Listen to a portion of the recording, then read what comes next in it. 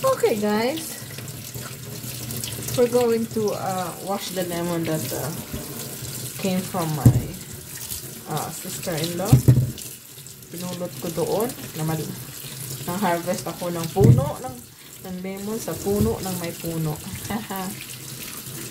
Yung tanim namin kasi hindi pa malaki. So, here we go.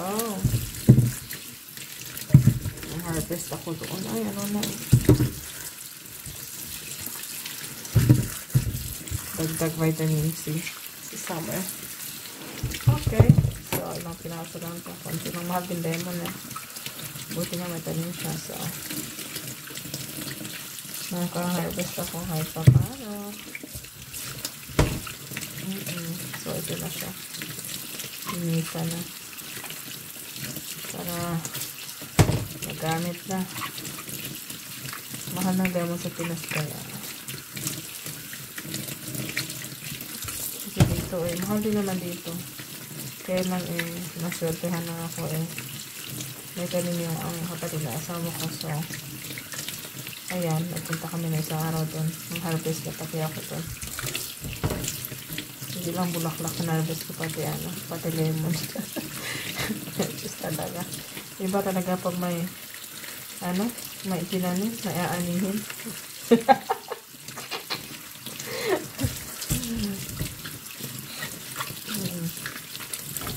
ito na siya.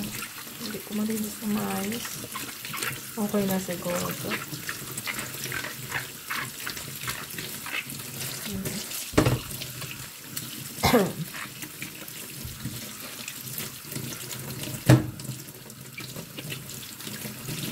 ano ito? Ano ito? Sabunong gawa ng ano. Kung matangga. Ay, matangga pala. Okay.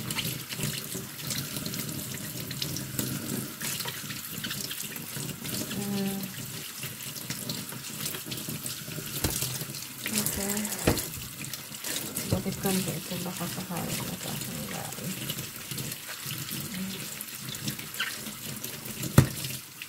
Okay. Ito siguro matanggal.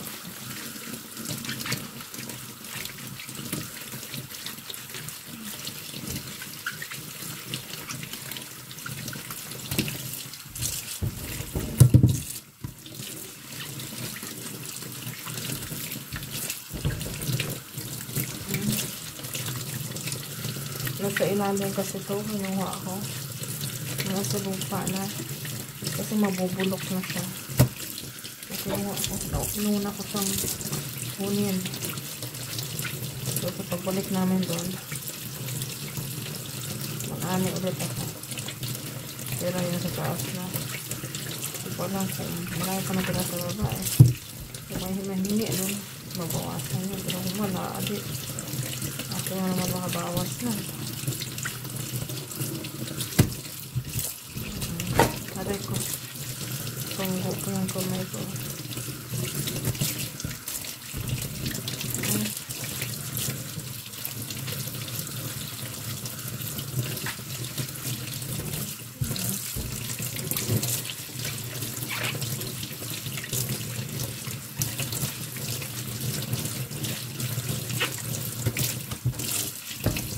Rin talaga alam ka na sa ano. Pero paano makapagod? Pero wala kami ka ng sibuyas guys. Kaya hindi kami ka katipid sa sibuyas. Sabagay, medyo mura-mura naman ang sibuyas